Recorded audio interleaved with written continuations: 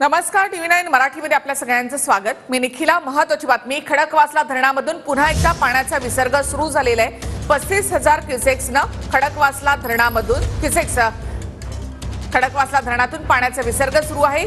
खडकवासलामधून अजून पाच हजार क्युसेक्स विसर्ग वाढवण्यात येणार आहे. धरण क्षेत्रामध्ये मुसळधार पाऊस झाल्यामुळे पाण्याचा विसर्ग आता सध्या वाढवला जातोय. खडकवासला धरणामधून पाणी सोडल्यानंतर पुन्हा काही भागामध्ये पाणी शिरण्याची शक्यता आहे. एनडीआरएफकडून आता एकतानगर परिसरामध्ये सूचना दिल्या जात आहेत. एकतानगर परिसरात पुन्हा एकदा पाणी साचण्याची शक्यता आहे. पाणी या ठिकाणी वाढू लागलेलं आहे. खडकवासला धरणामध्ये आता पस्तीस हजार क्युसेक्स पाणी सोडलं जात आहे.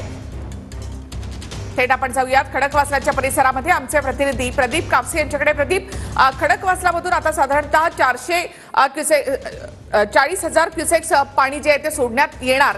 असं देखील प्रशासनाकडून सांगण्यात येत आहे आत्ता नेमकी काय परिस्थिती आहे? धरण क्षेत्रामध्ये पाऊस सुरू आहे.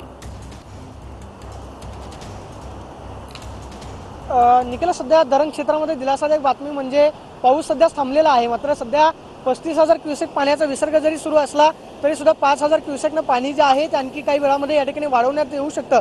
आणि चाळीस हजार क्युसेक पाण्याचा विसर्ग जो आहे तो मुळामुठा नदीच्या पात्रामध्ये केला जाऊ शकतो. आपण पाहतोय की पाण्याचा विसर्ग जो आहे तो मोठ्या प्रमाणावरती मुळामोठा नदीच्या पात्रामध्ये होतोय.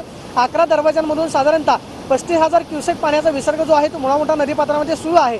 सहा वाजता प्रशासनाकडून सांगण्यात येत होतं की चाळीस हजार क्युसेक पाण्याचा विसर्ग जो आहे तो या नदीपात्रामध्ये करण्यात येईल. मात्र दिलासादायक बाब म्हणजे सध्या धरण क्षेत्रामधला पाऊस जो आहे तो थांबलेला आहे. वरसगाव त्याचबरोबर पानशे टेमगड ही सगळी धरणं जी आहेत ते आता शंभर टक्के भरलेली आहेत. खडकवासला धरण शंभर टक्के भरल्यानंतर पानशेत धरणातून येणारं पाणी जे आहे ते खडकवासला धरणामध्ये येतं. त्यामुळे दोन धरणांचं पाणी जे आहे ते थेट मुळामुठा नदीच्या पात्रामध्ये सोडावं लागतं. त्यामुळे क्युसेक पाण्याचा विसर्ग जो आहे तो प्रशासनाला वाढवावा लागतो. मात्र. सध्या पाहतोय की ती मुळामुठा नदीच्या पात्रामध्ये पस्तीस हजार क्युसेक पाण्यानं विसर्ग जो आहे तो करण्यात येतोय जर कदाचित विसर्ग वाढवला तर सकाळी एकतानगर त्याचबरोबर सिंहगड रोड परिसरामध्ये पाणी जे आहे ते मोठ्या प्रमाणावरती वस्तीमध्ये शिरलेलं होतं रात्री सुद्धा तो धोका संभवू शकतो त्यामुळे. प्रशासनाकडून सूचना देण्यात आलेल्या होत्या की स्वतः पालकमंत्री अजित पवारांनी सूचना दिल्या की पाण्याचा विसर्ग जो आहे तो कमी करण्यात यावा पन्नास ते पंचावन्न नक्कीच. हजारावरून. धन्यवाद प्रदीप. एकूणच माहितीबद्दल तर खडकवासलामधून आता सध्या पाण्याचा विसर्ग सुरू आहे. त्याची थेट दृश्य आणि ड्रोनची दृश्य देखील आपण या ठिकाणी पाहत आहोत.